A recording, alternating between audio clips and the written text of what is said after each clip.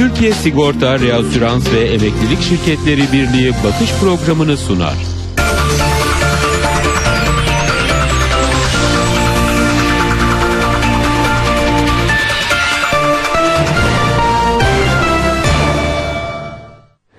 Yani bakış programına hoş geldiniz. Gündem siyasetle yoğun ama bu yoğun gündemin arasında ekonomiyle de aslında yoğun. Özellikle dolar ve eurodaki e, ciddi artış ekonomiyi nasıl etkileyecek konusu, nasıl da etkiliyor konusu da gündemde olan konulardan biri. Biraz bu konudan bahsedeceğiz sizlere. Ama asıl bahsetmek istediğimiz yani bu işin makro boyutu biraz daha mikro boyutuna ineceğiz ve e, bu dolardaki ve eurodaki artışın sigorta pazarına nasıl etkilediğini konuşacağız. Özellikle de otomobil sigortalarını ve Aynı zamanda biraz da sağlık sigortasından da bahsedeceğiz. Bunların hepsini e, Allianz Türkiye CEO'su Aylin Somersan Cookie bizlerle, Cookie bizlerle birlikte e, kendisiyle konuşacağız.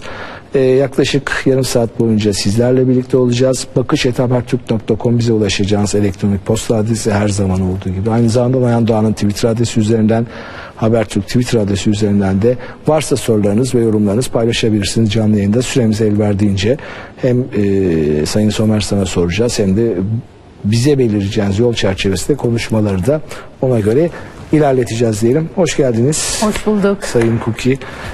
Ee, biraz ekonomik değerlendirme yapalım hazır sizi yaşı yakalamışken. Yakından takip ediyorsunuz aslında Tabii. hiç de hani sormaya etmeye gerek yok ama e, özellikle bugün de ciddi bir rekora doğru gitti. E, işte dolar 4.60'larda Euro 5.40'larda. Bunun biraz sonra sigorta yansımalarını eminim çok ciddi yansıması vardır da hani siz vatandaşa yansıtır mısınız onu bilmiyorum. Sizden duyacağız. Önce yansımasını alırız. Önce bir yabancı sermayenin Türkiye'deki CEO'su olarak Alyans grubunun e, nasıl değerlendiriyorsunuz kurdaki bu artışı? E, bir neye bağlıyorsunuz? E, ikincisi e, bu artış ne kadar hani siz de çünkü hesaplarınızı kitaplarınızı bütün finansal tablolarınızı buna göre yapıyorsunuz ne kadar ne öngörüyorsunuz ve hani devam etme durumu size göre nedir ve devam etmesinin sonucundaki tablo nedir? Buyurun. Tabii ki ekonomideki gelişmeler e, sigorta sektöründe çok çok yakından ilgilendiriyor. E, sigorta sektörünün %75'i yabancı sermayeden oluşuyor. Yabancı sermaye de çok yakından e, takip ediyor. E, Öncelikle bizim bakış açımızı söylemek isterim. Yani yabancı sermaye olarak Türkiye'ye bakış açısı Türkiye'de Allianz 90 senedir e, bulunuyor ve e, her zaman çok uzun dönemli bir bakış açısına sahip. E, yatırımlarımızı da bu şekilde yaptık. 90 senedir Allianz Türkiye'de. Tabii ki e, böyle dalgalanmalar olması e, beklenti dahilinde E, ama e, bu dalgalanmaların uzun dönemdeki potansiyeli etkilememesi ve öngörülebilirliğin devamı hocam bu öngörülebilir bir dalgalanma mıydı size göre? Daha önceki işte sene başındaki ya da geçtiğimiz sene sonundaki projeksiyonlarınızda var mıydı böyle bir dalgalanma? Bu kadar e, büyük bir dalgalanma yoktu açık söylemesi gerekirse. Çünkü e, gerçekten e, evet belli bir e, düşüş beklentimiz vardı. E, faizlerin gidişi, cari açığın durumunu da göz önünde bulundurarak. Enflasyon. Enflasyonun e, yüksek devam etmesi, %12'lerde devam etmesi tabii bunun e, faktörlerinden biri. Fakat şu son dönemdeki e, kur düşüşü e, bizim de beklemediğimiz bir düşüştü. E, burada tabii ki e, şu andaki belirsizlik, enflasyonun e, yüksek seyri, e, cari açığın yüksek devam etmesi buradaki önemli faktörlerden birkaç tanesi. Bunu yakından izlemeye devam ediyoruz. Şu son haftalardaki çok hızlı düşüş e, beklenmeyen bir düşüştü. Bunun e, için tabii ki şu anda e, gözler biraz Merkez Bankası'nın e, üzerinde.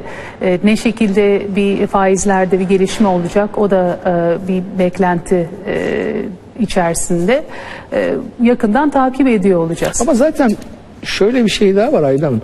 Dünya genelinde bir yüksek faiz trendi var galiba değil mi? Tabii ki şu anda mesela Amerika Merkez Bankası 2017'de 3 kere faiz arttırdı. Şimdi gelişmiş ülkelerde özellikle Amerika'daki faiz artışı gelişmekte olan ülkelerde de e, bir faiz e, beklentisi oluşturuyor. Ee, ve e, tabii ki yabancı sermayede daha çok getiri beklediği için e, buradaki faizlere de yansıyor. Haklısınız. E, dünya genelinde böyle bir e, gelişme şu anda görüyoruz. Çünkü global büyüme aslında oldukça iyi devam etti. E, ve bu da tabii ki faizlerde özellikle para politikasında biraz daha sıkılaşma dediğimiz faiz arttırımını getirdi dünyada. Bunun da etkilerini Türkiye'de görüyoruz. Peki birkaç gündür yani daha doğrusu bir haftadır falan konuşulan konu daha çok şu piyasalarda. Evet doların bir yukarı doğru seyri var. Gerçi biz sadece doları konuşuyoruz, euroyu çok konuşmuyoruz ama birçok alanda da euro etkin. Niyeyse biz ülke olarak bir dolar saplantımız var herhalde geçmişten de gelen. O bizim için çok e, kritik belirleyici. Yani belki petrolden metrolden geliyor ama e, ya şöyle bir öngörünüz var mı? Hayır bu dolar bu seviyede durmaz. İşte önümüzdeki dönemde işte seçim biter şu olur. Dolar bu seviyede durmaz. Aksine daha da geri doğru geriler. İşte bugün 4.5 ise 4.60 ise biz işte 3.9 3.90 ya da o bantlara otururuz gibi öngörünüz var mı Aylin? O öngörüyü vermek o kadar kolay değil. Spekülasyona girer biraz da evet, tabii. e, tabii ki e, piyasadaki gelişmeler, e, politik gelişmeler de doların seyrini oldukça etkiliyor. Fakat şunu söyleyebiliriz, Türk lirasına temel olarak baktığımızda Türk lirası aslında şu anda olması gereken değerin oldukça altında seyrediyor. Yani e, sepete göre e, oldukça altında. O yüzden bir stabilizasyon beklemek e, anlamlı. Fakat bu e, ne zaman gelir ve ne seviyede e, stabilize olur bunu öngörmek oldukça zor. Peki şimdi tabii bu dolar ve eurodaki artış e, özellikle sigortada otomobil fiyatlarında biz şimdi daha önce de sizle sohbet et- etmiştik birkaç ay önce. E, kaskoda trafikte bilmiyorum ne kadar etkin onu sizden dinleyeceğiz. Önce bir sigortaya genel olarak makro bir yansımasından bahsedin. Bu e, dolardaki, dövizdeki daha doğrusu artışın hangisidir sigorta için? Dolar mıdır, euro mudur? Ve bu artış şimdi nasıl bir e, yansıyor ve önümüzdeki dönemde de nasıl yansıyacak? Evet. Tabii ki kurdaki artışlar e, sigortayı direkt olarak etkiliyor. Şöyle söyleyeyim. Niye etkiler direkt? Ee, mesela kaskoyu ele alalım. Evet. Ee, kaskoyu aslında daha çok euro etkiliyor dolardan çok. Çünkü e, kaskodaki ödediğimiz tazminatların yüzde 45-50'sini yedek parçalar oluşturuyor ve yedek parçalar da euro bazlı olarak fiyatlanıyor. O yüzden eurodaki e, bu kur artışı direkt olarak e, yedek parça maliyetlerine yansıdığı için kasko fiyatlarını e, tabii ki etkiliyor. Şimdi trafik branşına baktığınızda resim birazcık daha farklı. Şunu da söylemeliyim, kasko branşında bir artı etki var. Ee, o da frekansın azalması. Yani her sene aslında yüzde iki üç civarında kazalardaki frekans aza- azalıyor. Bu da aslında fiyatı olumlu etkiliyor fakat şu dönemdeki kur değişimi o kadar hızlı gelişti ki o yüzden e, buradaki fiyat baskısını, maliyet baskısı arttığı için artmasını bekliyoruz.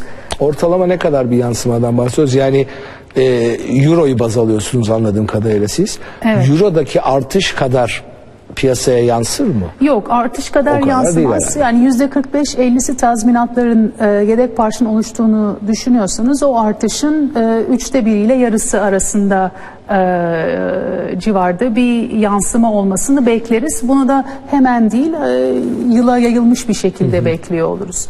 Şimdi trafik branşına baktığınızda trafik branşında aslında bedeni hasar maliyetleri çok arttı. Bunlar TL bazlı, e, euro bazlı veya dolar bazlı değiller. Fakat e, yine e, maddi hasar tarafı da trafik branşının e, tazminatlarının yüzde yirmisini oluşturuyor. Oradaki etki biraz daha az. Sağlık tarafına baktığınızda da sağlıkta da medikal enflasyon. Onu soracağım. Sağlığa planda. geçmeyin Aydın Hanım. Önce e, biz sadece dövizdeki artışın yansımasını konuşuyoruz. Enflasyonun da bir artıştaki bir yansıması var mı sigorta pazarına? Tabii ki şimdi e, zaten maliyetlerin hepsi en az tüfe e, seviyesinde artıyor. Dövizdeki bu hızlı artışın genel enflasyona yansıması da var. Onun da bir endirekt etkisini e, maliyetlerimizde görüyoruz. Ee, peki bu şu anlama mı geliyor? Sizin söylemenizden söylemenizden şunu mu anlayayım? Önümüzdeki dönem kasko özellikle kasko üzerine duruyorsunuz. Belli ki kaskoya yansıması çok daha fazla ve daha bir sıkıntı var. Bir yansıması yansımayı vatandaşa yansıtacak mısınız? Yani sizin söylemenizden şunu mu anlayayım? Önümüzdeki dönem kasko fiyatlarında artış olma, primlerinde artış olma ihtimali var mı? Kesin var mı? Ee, tabii ki maliyetlerin bu denli artması e, bu branşı sürdürebilir, e, e, kasko branşını sürdürebilir olması için fiyatlara belli bir yansıma bekliyoruz. E, bu yansıma e, direkt olarak e, kurla birebir bağlantılı değil fakat e, sürdürülebilir olması için belli bir yansıma olacaktır. Tamam, rakam verin. Ne? Yüzde kaç? Yüzde on, yüzde on beş, yüzde yirmi? Ne kadar zaman? Yani kur artışının e, üçte biri e, hatta belki biraz o civarda olacağını düşünüyorum. Şu anda kasko fiyatları ucuz mu? Pahalı mı? Şu anda kasko fiyatları olması gereken yerde yani şöyle söyleyebilirim. ucuz ne pahalı? E, biz her zaman şu Şimdi politikaya meslektaşlarınız bakıyoruz. çoğu diyor ki kasko fiyatları çok ucuz. Şimdi tabii ki relatif olarak bak neye göre karşılaştırıyorsunuz? Şimdi e, Avrupa pazarına baktığınızda e, kasko fiyatları yani çok benzer e, arabalar olmasına rağmen oldukça ucuz kalıyor tabii ki. Ama e, sonuçta Türkiye'deyiz ve e, burada da tabii ki e, vatandaşın alım gücüne uygun olması e, kasko fiyatları için, kasko için çok önemli. E, burada bizim her zaman hedefimiz doğru riski doğru fiyatlamak. Doğru riski doğru fiyatlayabildiğimiz sürece e, o fiyat çerçevesinde ilerlemesini bekliyoruz. Hep bu e, gözle bakıyoruz. Trafikteki sıkıntı bitti mi? Kâra dönmeye başladınız mı artık? Yani yaklaşık bir uzun zamandır zarar ediyordunuz. Sonra özellikle bu tamam geçen senenin Nisan ayında gelen tamam fiyat sonrası da bir takım rakamlarınız vardı ortaya koydunuz. Ondan sonra bir iyileştirme yapıldı. Ondan şimdi baktım.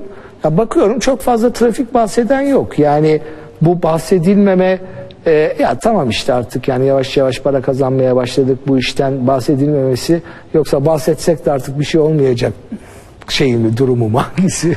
Yok aslında şöyle 2017'ye baktığınızda trafik branşı yine aşağı yukarı 536 milyon TL bir teknik zarar yazdı. Ee, zaten e, Nisan 2017'de e, tavan fiyatı devreye girmişti. Ortalama fiyatlar %30 e, aşağıya düşmüştü. Bunun etkilerini 2017'nin ikinci yarısında e, daha görmeye başladık ve 2018'de de görmeye devam ediyoruz. E, trafik branşı branş olarak zarar yazmaya devam ediyor. Burada sene başında e, fiyatlara bir yüzde beşlik bir artış geldi. O bir nefes verdi. Fakat dediğim gibi hem enflasyonun e, e, çift tanelerde olması hem de kurdaki artış e, buradaki maliyet baskısını arttırmaya devam ediyor. Bizim ümidimiz her zaman e, da söylediğim gibi serbest fiyat e, dönemine e, geri dönülmesi. 2018'de bunun gelmesini e, umuyoruz. 2017'nin sonunda bekliyorduk ama e, kademeli bir artış oldu, bir hafifleme oldu. Sayın Mehmet Şimşek de e, bu konuda açıklamalarını yaptı. E, biz hazineyle çalışmalarımızı devam ettiriyoruz. Serbest e, piyasaya, serbest fiyata dönmek ne gibi avantaj getirecek? Yani şu andan farklı ne olacak? Çünkü bu sizin söyleminizi şöyle algılayan da, algıla, algılamaya da neden oluyor. Serbest fiyata geçince fiyatlar otomatik olarak fırlayacak. Ya bu mu algı? Serbest fiyattan algı bu mudur? Yani size göre yani, yani bizi rahat serbest bırakın biz e, fiyatı ona göre belirleyelim. E bu da hani şimdiki fiyatta zaten şimdiki fiyatta serbest fiyat istediğinize göre daha yüksek bir fiyat anlamına geliyor. Bu mudur Aylin Hanım? Yok aslında e, öyle değil yani bir serbest piyasaya geçtiğimizde birden fiyatların artması söz konusu olmayacaktır. Serbest e, piyasaya geçiş şu, şunun için çok önemli. Birincisi e, sektörün sürdürülebilirliği için çok önemli. İkincisi her zaman dediğim gibi biz doğru riski doğru fiyatlamaya çalışıyoruz. Yani burada aslında E, trafikte en önemli şey e, temelde kaza oranlarının azalması. Türkiye'nin e, bu kanayan yarası.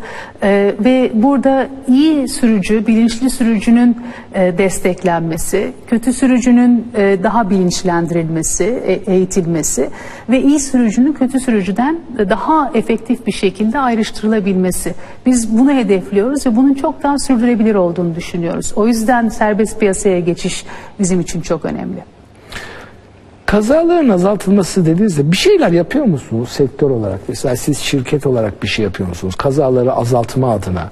Yani çünkü e, bakıyorum asıl yani trafik sigortası aslında bir e, sonuç. E, sebep kaza. Evet. Şimdi asıl bunun hani sigortacı ben yurt dışında da mesela gittiğimde e, işte kimi e, sigorta şirketleri yurt dışında sürücülere ileri sürücü teknik eğitimleri veriyorlar. Kasko sigortası ya da trafik sigortası daha ucuz yapıyorlar falan. Bir çaba var. Ama bakıyorum Türkiye'de genelde sizin şirketlerde bu kazanın hep kazadan şikayet var ve sonucundan ama kazaların önlenmesine yönelik taşın altına el koyma gibi bir şey yok. Var mı sizde böyle bir şey? Ya Aslında- da plan proje var mı? Aslında var ve e, bu konuyla ilgili e, Türkiye Sigortalar Birliği çok kapsamlı çalışmalar sürdürüyor şu anda. E, Emniyet Müdürlüğü ile polisle diğer devlet kurumlarıyla birlikte e, nasıl bu bilinci arttırırız? E, iyi sürücüyü kötü sürücüden nasıl e, ayrıştırabiliriz? E, kötü sürücünün işte puanları sürücüye bir puan verilmesi gibi bir e, çalışma var şu anda.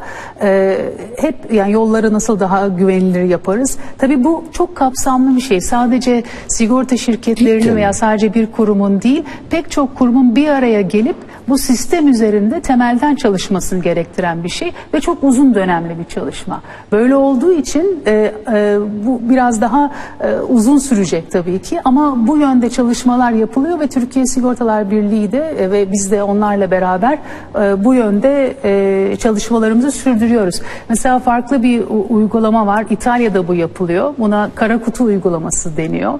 E, burada e, ufak bir kutuyu GPS gibi bir kutuyu arabaya koyuyorsunuz ve sürücünün nasıl kullandığını, iyi mi, kötü mü, bilinçli bir şekilde mi kullandığını ölçmeye devam ediyor ve Sizin de böyle bir projeniz vardı Alyans. Evet, bunun geçtiğimiz senelerde bir şey çalışıyordunuz. Evet, evet. Trafik Bu- sigortası tamam fiyat gelince durdu bir anda galiba. Biraz, e, biraz sekteye uğradı ama e, hala çalışmaya devam ediyoruz. Devlet kurumlarıyla da bunu Hmm. konuşuyoruz. Böyle bir mevzuatsal ortam sağlandığı zaman e, bunun ben çok efektif olabileceğini ve fiyatlarda da e, daha avantajlı hale getirebileceğini düşünüyorum. İtalya'da çünkü e, bunu İşe yaramış, işe sonuç yaradı, alınmış. evet. Biraz sağlık sigortası konuşalım mı? Tabii. Siz de çünkü uzmanlık alanlarınızdan. Ee, tamamlayıcı sağlık. Yani bizim bir süredir üzerinde konuştuğumuz konu tamamlayıcı sağlık ama benim gördüğüm kadarıyla yani e, kamuoyuna da çok fazla anlatılamayan bir konu. Aslında anlatılsa ben Sosyal Güvenlik Kurumu'nun üzerindeki yükü de alacağını ve Türkiye'de ciddi bir değişiklik yaratacağına inanıyorum. Nedir orada durum tamamlayıcı sağlıkta? Aslında tamamlayıcı sağlıkta e, istediğimiz kadar olmasa bile e, bir büyüme görüyoruz. E, yani şu anda yarım milyondan fazla kişi tamamlayıcı sağlık sigortasına sahip. Türkiye genelinde. Evet.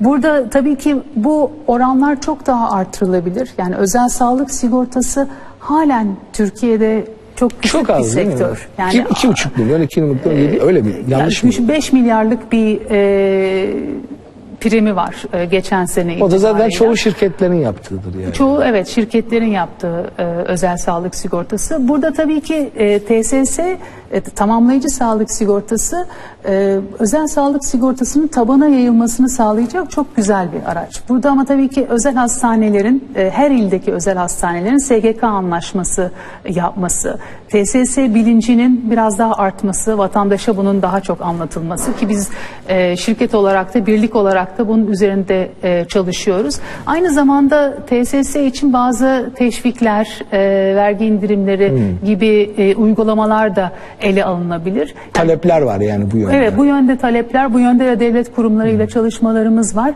Ben TSS'nin e, sağlık sigortasının daha büyümesi, tabana yayılması ve vatandaşa da özel hastanelerden, daha farklı doktorlardan da e, erişim sağlanabilmesi için çok önemli bir araç olabileceğini düşünüyorum.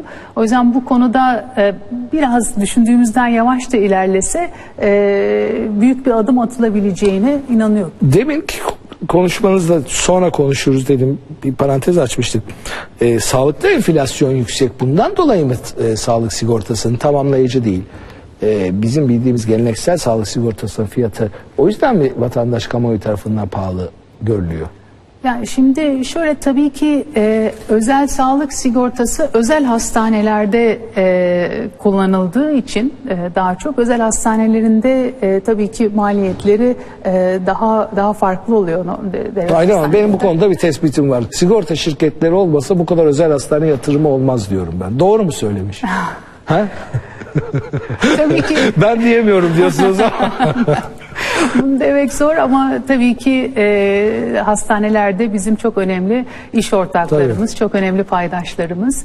E, medikal enflasyon aslında şimdi medikal enflasyonu et- etkileyen birkaç şey var. Bir tanesi tabii ki döviz kuru da medikal enflasyonu etkiliyor. Çünkü medikal araçlar, medikal malzemelerin çoğu yine e, ithal olduğu için euro bazlı.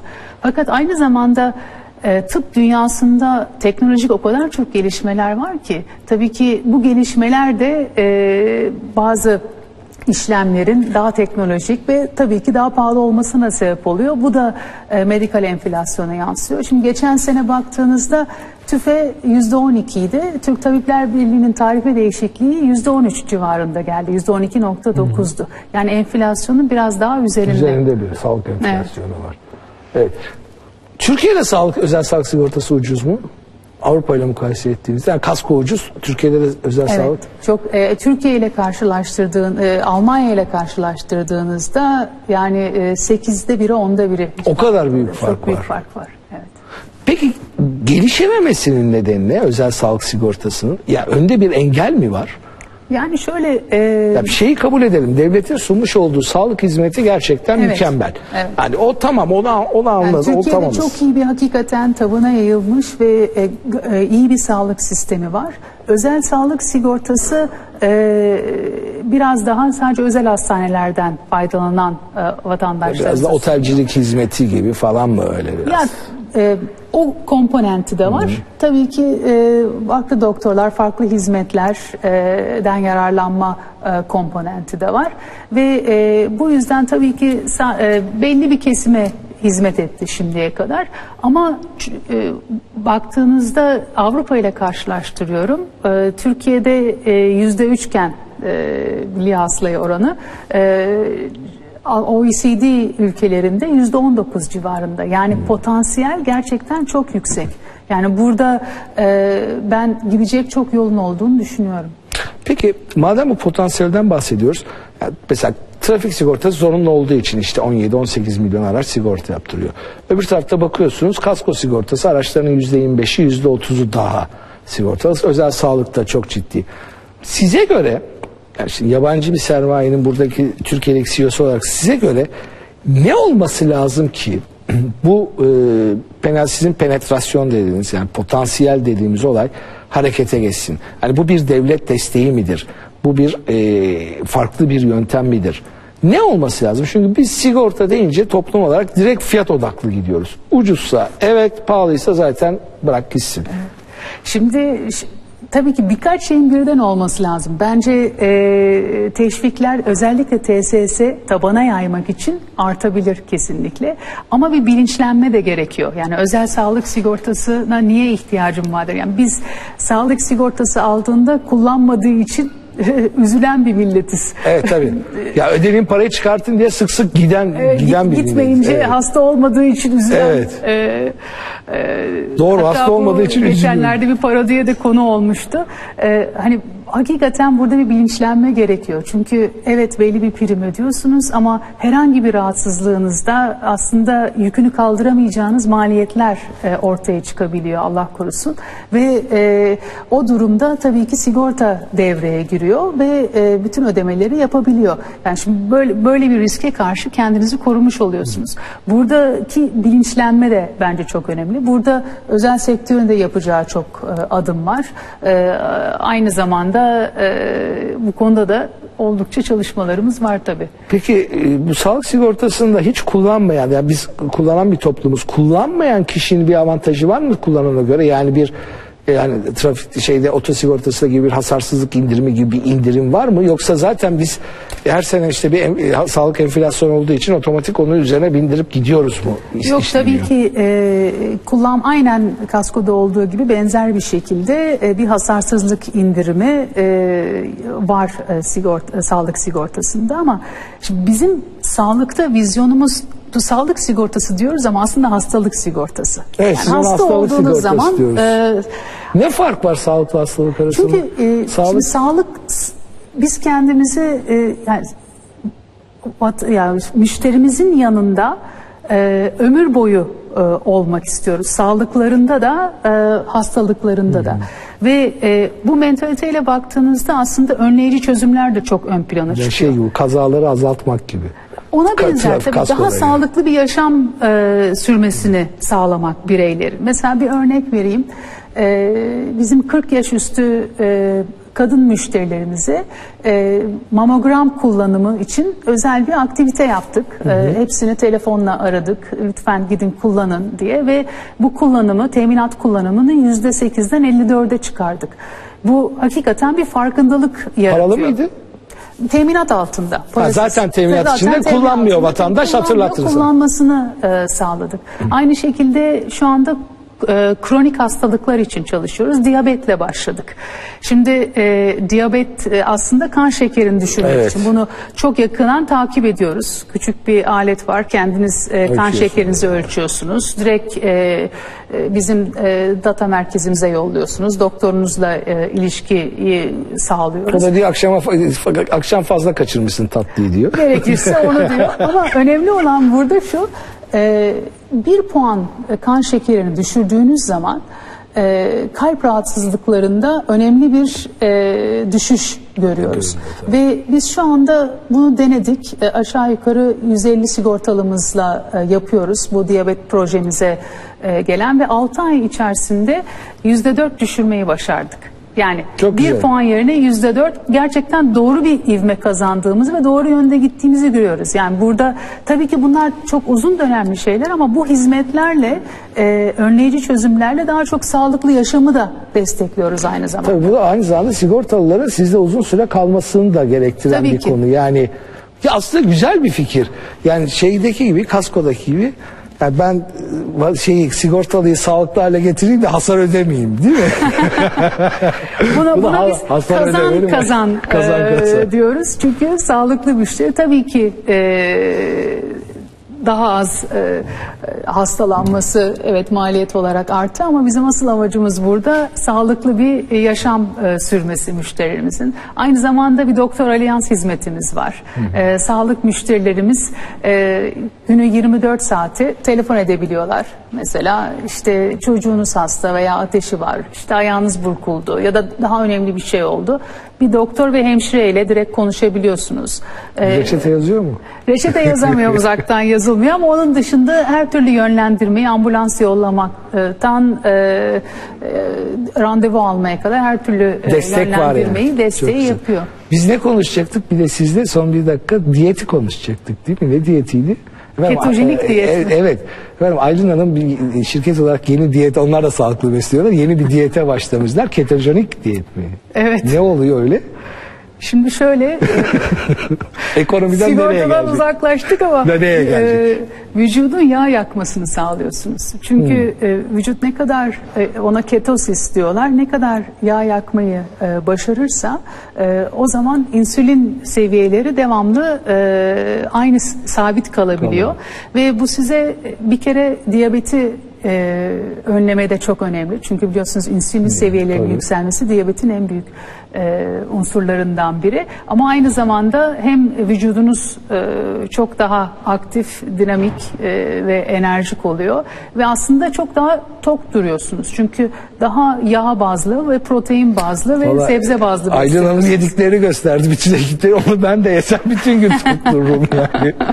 Sonuç sonuç zayıflamak değil. Sonuç, Sonuç sağlıklı. zayıflamak iş değil. Sonuç aslında çok daha sağlıklı hissetmek, daha enerjik, daha e, doymuş bir şekilde, daha daha sağlıklı hissetmek. Bunu sigortalılarınıza şey yapmıyor musunuz? İşte bizden Bunu sigorta önce yaptığına. kendimiz, kendi üzerimizde deniyoruz. Deney olarak. Eğer başarılı olursa belki düşünebiliriz. Peki şey isterlerse gönderelim. Ee, diyetin içeriğini isterlerse izleyicilerimiz yollarız değil mi? Sokrates gizli bir Yok, diyet değil. değil. yani.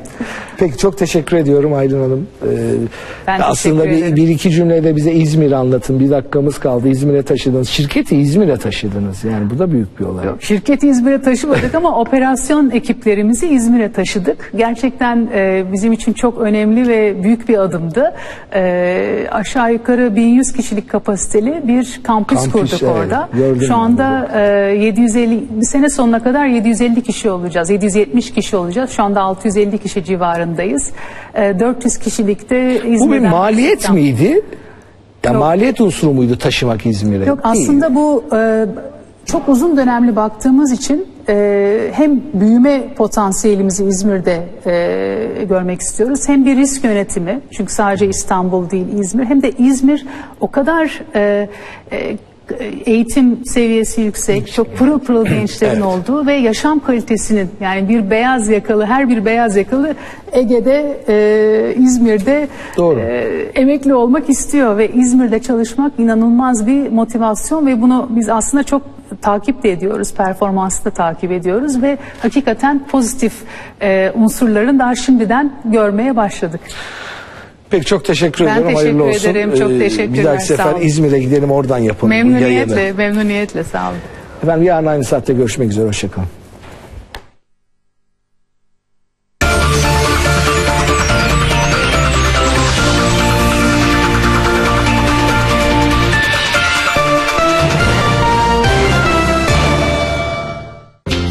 Türkiye Sigorta Reasürans ve Emeklilik Şirketleri Birliği bakış programı